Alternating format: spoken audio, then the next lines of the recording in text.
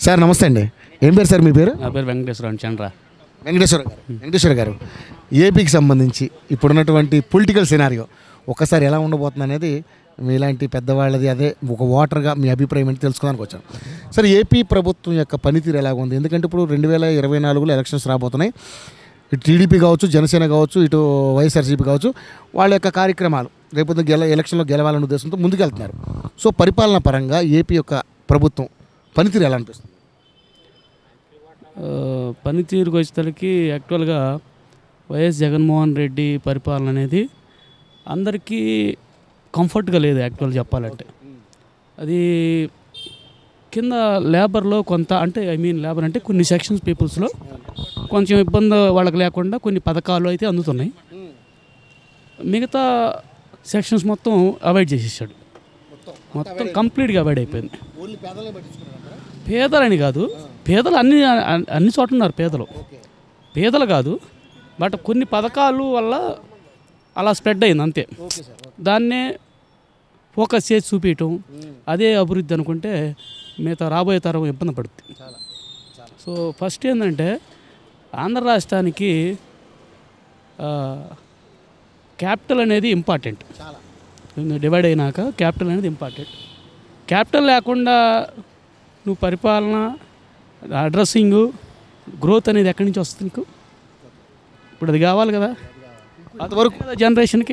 రాష్ట్రం వేరే ఇన్ని ఇన్ని సంవత్సరాలు అవుతున్నా కానీ ఎందుకంటే క్యాపిటల్ మీద ఒక నిర్- నిర్దిష్టమైనటువంటి ప్ర- ప్రక్రియ ఏం జరగలే. ఏమీ లేదు. చంద్రబాబు గారు మరి కొత్తగా రాష్ట్రం ఏర్పడినాక హైదరాబాదు సరిపడా రాజధాని ఉండాలి తెలుగు వాళ్ళకు ఇంకోటిని. ఒక మంచి ప్లాన్ తోటి చేయటం జరిగింది. మరి అక్కడ ప్రజలు కూడా దాన్ని యాక్చువల్గా అంత అనుభవజ్ఞుడు చేయగల సత్తా ఉన్నవాడిని మరి రెండోసారి గెలిపించుకోలేకపోవడం వల్ల ఆంధ్ర రాష్ట్రం ఒక ఇరవై సంవత్సరాలు వెనక్కిపోయింది. ట్వంటీ ఇయర్స్ వెనక్కిపోయింది. సో దానివల్ల ఏంటంటే ఒకసారి తయారు చేసిన ఒక వస్తువును పగలగొడితే మళ్ళీ ఇంకోసారి అది మన చేతికి రావాలంటే అది సాధ్యపడేది కాదు. ఇప్పుడు పబ్లిక్లోకి వచ్చేసరికి పార్టీలు వేరండి. వైఎస్ఆర్సీపీ అయినా తెలుగుదేశం అయినా జనసేన అయినా పార్టీలు వేరు. ప్రజలకు కావాల్సింది నిర్మాణాత్మకమైనటువంటి వ్యవస్థను ఏర్పాటు చేసి ఎంప్లాయ్మెంట్ ఇవ్వాలి. తదనుగుణంగా వ్యవసాయ రంగాన్ని ప్రోత్సహించాలి. సో అక్కడ ఏం జరుగుతుందంటే ఇప్పుడు వ్యవసాయ రంగం ప్రోత్సహించడం లేదు నిర్మాణ రంగం అభివృద్ధి లేదు. ఓన్లీ మనం పరిపాలన అంటే ఏదో ఒక కానుకల్లాగా ఇచ్చేస్తే రైతు భరోసా కేంద్రం సరిపోదు. రైతు భరోసా కేంద్రాలు అనేవి ఇప్పుడు ఈ అన్ని ప్రతి గవర్నమెంట్లో ఏదో ఒకటి చిన్న పథకం తీసుకొస్తారండి అది. అది దాంతో ఇక రైతు శాశ్వత పరిష్కారం కాదు కదా. ఏ గవర్నమెంట్ అయినా ఏదో చిన్నది రైతుకి ఇది చేసామనగా దాంతో అయిపోద్దా కాదు. మూలాలు ఏంటి దానికి వాళ్ళ రైతు కష్టపడకుండా ఉండాలంటే పండించిన పంటకి గిట్టుబాటు ధర కానీ సరైన మార్కెటింగ్ వ్యవస్థ కానీ ఈ స్టోరేజ్ గిడ్డంగులు కానీ ఈ రైతుల కన్నులో చైతన్యం చేసి సబ్సిడీలు ఇచ్చి కొంచెం ఎక్కువ చేయాల్సిన బాధ్యత ఉంటుంది. ఏ గవర్నమెంట్ అయినా సరే చేస్తారు. ఏది ఉడతా భర్తీ చేస్తే అది రైతుకు సరిపోదు. అది అక్కడ ప్రాబ్లం వస్తుంది కొంచెం రైతు విషయంలో. రైతు రుణాలు కానీ ఇవన్నీ కూడా కొంత పబ్లిక్లో ఒక రకమైన ఇది ఉంది ఏదే గవర్నమెంట్ రంగంలోనే ఏదో గవర్నమెంట్ రాంగ్ రైతు రుణమాఫీ చేస్తారా? లేకపోతే ఇంకోట ఇంకోట. రైతును కూడా పట్టించుకునే విధానము ఏ గవర్నమెంట్ కూడా సరైన ఇది లేదు. యాక్చువల్గా ఏ గవర్నమెంట్ కూడా సరైన ఇది లేదు. రైతు అనేవాడు ఎప్పుడు ఇబ్బంది పడుతూనే ఉంటాడు వాస్తవం చెప్పాలంటే. బట్ ఏంటంటే అల్టిమేట్గా ఏంటంటే యావరేజ్గా అందరిని దృష్టిలో పెట్టుకొని ఏ ప్రోగ్రామ్ చేసినా చేయాలి. సో ఇదంటే వైఎస్ జగన్మోహన్ రెడ్డి గవర్నమెంట్లో అదైతే లేదు. వాస్తవం చెప్పాలంటే. ఇప్పుడు రైతులు గిట్టుబాటు ధరల లేవు వాస్తవం చెప్పాలంటే. ఇప్పుడు నిర్మాణ రంగాలు లేవు కుదేలైపోయినాయి. అమరావతి లేదు ఎంప్లాయ్మెంట్ లేదు ఇండస్ట్రీ లేదు. ఉద్యోగులు వ్యతిరేకత. తీవ్ర వ్యతిరేకిస్తున్నారు. కానీ వైఎస్ఆర్సీపీ వాళ్ళు అనేది ఏంటంటే మేము ఇచ్చినటువంటి పథకాలు సఫిషియెంట్గా అందరికి అందుతున్నాయి. కరోనా టైంలో మేము ఆదుకున్నాం. సో మేము ఇంకో ఇంటికి ఒక దగ్గర దగ్గర రెండు లక్షల నుంచి మూడు లక్షల వరకు మేము అందజేసాం సో అవే మాకు ఓటు బ్యాంక్ మలిగే అవకాశం ఉందని చెప్పి చెప్పుకున్నాం. ఒకటండి కరోనా అనేది ఇక్కడ కాదు. కరోనా అనేది ఆంధ్రప్రదేశ్కి రాలి కరోనా. దేశం కాదు ప్రపంచం మొత్తం వచ్చింది. సో అది అంతా అది అది వేగ్ మాట. కరోనా వచ్చినా కానీ కరోనా తగ్గట్టు కేంద్ర ప్రభుత్వం ఇచ్చేటువంటి ఫండ్స్ తోటే కేంద్ర ప్రభుత్వం యొక్క నియమ నిబంధనలతోటే రాష్ట్ర ఫండ్లో కానీ కేంద్రం ఇచ్చే ఫండ్లో కానీ ఖర్చు పెట్టారు తప్పితే ఇప్పుడు మిగ మిగతా ఫండ్స్ మొత్తం డైవర్ట్ చేసి ఖర్చు పెట్టారు. యాక్చువల్ చెప్పాలంటే ఓ సాధారణ పరిపాలన ఖర్చులు కూడా తగ్గించేసి దీనికి వెళ్ళిపోయినాయి. ఏది మన కోవిడ్ దీనికి వెళ్ళిపోయింది. కేంద్ర ప్రభుత్వం ఇచ్చింది రాష్ట్ర ప్రభుత్వం ఇచ్చింది తప్పదు ఎవరైనా చేయాల్సింది అది. ఇప్పుడు అదొక్కటే స- ఇది కాదు కదండి కేటగిరీ కాదు కదా. ఇప్పుడు కో- కోవిడ్ అయిపోయింది. Two years one year gap ఉంది. వన్ ఇయర్లో యాక్చువల్గా అన్ని రంగాలు కూడా కొంచెం తటస్థంగా ఉన్నాయి. కొంచెం ఇప్పుడిప్పుడే పుంజుకుంటున్నాయి. కోవిడ్కి దానికి సంబంధం కోవిడ్ ఒకటి చేస్తే ఉపయోగం ఏందండి? కోవిడ్ వాళ్ళే చెప్పారు ప్యా పారాసిటమాల్ వేసుకొని ఇంట్లో పనుకుంటే తగ్గుద్దని. దానికి మనమేం మనం ఏం చెబుతాం? జగన్ అన్నాడు కదా ఏమని? దీన్ని దీంతోనే జనజీ జీవనం మొత్తం దీంతోనే మనం గడపాలి సహజీవనం చేయాల్సి చేయాలని అన్నారు. ఇంకా దాంతోనే అయిపోయి ఒక చెప్పాలంటే జగన్ కాపాడింది కోవిడే. ఓ రకంగా? చెప్పాలంటే జగన్ కాపాడింది కోవిడేను. కోవిడ్ రాకపోతే కనుక జగన్ పరిపాలన మొత్తం బయటపడేది. ఇప్పుడు మూడు సంవత్సరాలకు బయటకు వచ్చింది కదా కోవిడ్ తర్వాత రెండు రెండు సంవత్సరం సంవత్సరాల తర్వాత బయటపడింది పరిపాలన విధానం. అదే కోవిడ్ రాకుంటే జనం ఎవరి పరిపాలన చేసుకుంటే జ సాధారణ పరిస్థితులు ఉంటే జగన్మోహన్ రెడ్డి ఈ పాటికి చాలా ఇబ్బంది పడేవాడు. కానీ ఇక్కడ ప్రజల్ని మచ్చిక చేసుకోవడం కోసం బటన్ నొక్కి అకౌంట్లో డబ్బులు వేయడం జరుగుతుంది. సో రేపు పొద్దున ఇవంతా కూడా వ్యతిరేకత ఎట్లా వద్దని మీరు? ఇవ్వటండి. ఇప్పుడు బటన్ నొక్కేసారు అంటే ఇంత కొత్త సిస్టమ్ టెక్నాలజీ వచ్చేసరికి డైవర్ట్ పాలిటిక్స్ అన్నీ ఇప్పుడు ఏంది ఇంతకుముందు ఏదన్నా పెన్షన్ ఇవ్వాలంటే ఏదైనా రైతుకి ఏదైనా ఇవ్వాలంటే అక్కడున్న local revenue department panchayat secretary కార్యదర్శి అవన్నీ మొబలైజ్ చేసి చేస్తారు. సో ఏంటంటే అది ఎప్పుడు జరుగుతున్న ప్రోగ్రామ్స్ అవన్నీ. దాన్ని కొత్తగా మార్చేది ఏం లేదు. కొత్తగా ఏం చెప్తున్నారంటే అక్కడ కూర్చొని బటన్ నొక్కితే నొక్కుతున్నారని చెప్తే మీడియాలో కానీ press media print media electronic social మీడియాలో చెప్తే ఓహో ఇవాళ అది నొక్కుతున్నారని ప్రపంచం మొత్తం తెలుస్తుంది. మామూలుగా జనరల్ సెక్రటరీ వాళ్ళు వచ్చేసి పంచాయతీ కార్యదర్శి ఆర్ఐ రెవెన్యూ వాళ్ళు వచ్చేసి ఊళ్ళో ఇచ్చిపోతే ఎవరికి తెలుస్తుంది? ఆ ఊర్లో తెలుస్తుంది మెలకొని ఉంటుంది. పేపర్ న్యూస్ పెద్దగా ఇదేం అవసరం ఉంటుంది. ఇప్పుడంటే సోషల్ మీడియాలో ఉంది కానీ అది ఫ్రంట్ లైన్ వేసి జగన్ నొక్కుతున్నాడు అనగానే ఆ జగన్ ఏమి నొక్కుతున్నాడు అని చెప్పి ఆలోచనలోకి వస్తారు. అది ఏమి నొక్కుతున్నాడు అనేది తెలియాలి కదా. ఉత్త బటన్ నొక్కితే ఉపయోగం ఉందండి. అందులో డబ్బులు లేకుండా.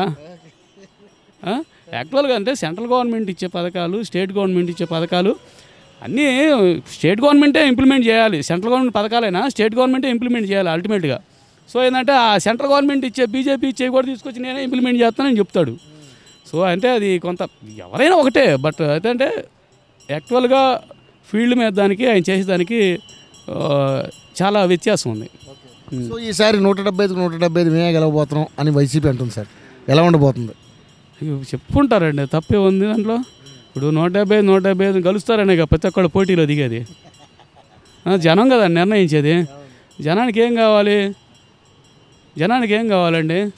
జనానికి సరైన వసతులు కావాలి సరైన సౌకర్యాలు ఉద్యోగ ఉద్యోగం ఇవి కావాలి ఇండస్ట్రీస్ కావాలి అభివృద్ధి కావాలి ఆరోగ్యం కావాలి విద్య కావాలి.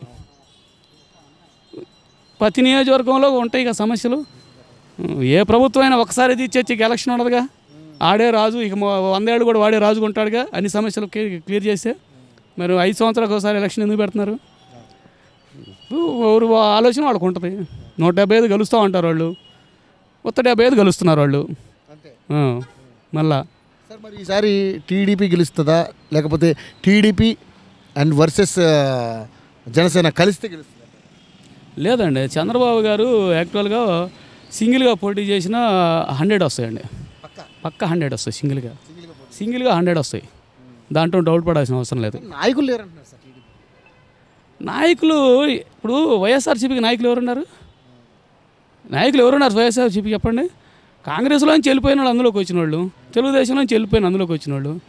తెలుగుదేశం ఎప్పుడు అంటే పటిష్టంగా ఉన్న పార్టీ అయితే నాయకులు లేరనేది ఏంటండి నాయకులు ఎప్పుడు కొదవలేదు తెలుగుదేశంలో. కార్యకర్తలు కొదవలేదు. ఓటర్స్ అన్నావా వన్ పర్సెంట్ టూ పర్సెంట్ అటు ఇటు మారుతుంటారు అదే గెలుపు. ఇంకా అంతకు మించి ఏముంటుందండి? పబ్లిక్లో ఎవరు? ఎవరికే నాయకులు అంటే ఏంది? డబ్బు ఖర్చు పెట్టి అలా పబ్లిక్లోకి వచ్చి డబ్బు ఖర్చు పెట్టితేనే నాయకత్వం. ఆ విధంగా తయారైంది వ్యవస్థ. ఇప్పుడు డబ్బు ఉంటేనే వంద కోట్లు ఖర్చు పెడతాడంటేనే వాడికి సీట్ ఇస్తున్నారు. సామాన్యుడు పోటీ చేసే పరిస్థితి? సామాన్య సామాన్యుడు ఓటేయటానికి మాట్లాడటానికి కూడా లేదు. ఓన్లీ ఓటేయటం వరకే. పోటీ ఇంకా పోటీ సంగతి దేవుడు. పోటీ పోటీ దాకా ఎందుకు వెళ్తారు మీరు? ఓకే. సో మరి జనసేన ఎఫెక్ట్ ఏముంటుంది? పవన్ కళ్యాణ్ గారు యాక్చువల్గా ఆయన కష్టపడుతున్నాడు. అయితే పోయినసారి ఆయనకి సిక్స్ పర్సెంట్ సెవెన్ పర్సెంట్ ఆయనకి ఓట్ బ్యాంక్ వచ్చింది.